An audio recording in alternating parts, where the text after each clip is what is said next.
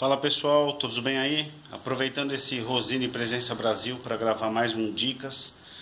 É, sempre verifiquem o cavalete, esse é um exemplo de um cavalete extremamente bem pensado, tá?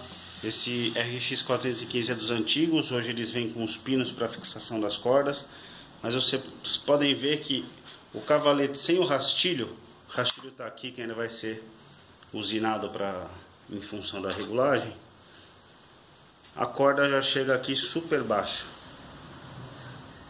E o ângulo da corda não está batendo, né? O cavalete não está deixando as cordas excessivamente altas com relação à escala. Então você tem bastante parâmetro de ajuste aqui no rastilho para deixar esse violão confortável.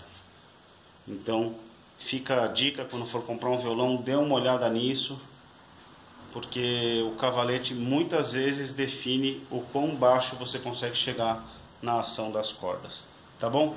Então se você curtiu essa dica, curte o vídeo, se inscreve no canal, ativa o sino de notificações para ficar sabendo de tudo que acontece aqui na Four Hands Luteria. Meu nome é Eduardo, muito obrigado, até o próximo vídeo.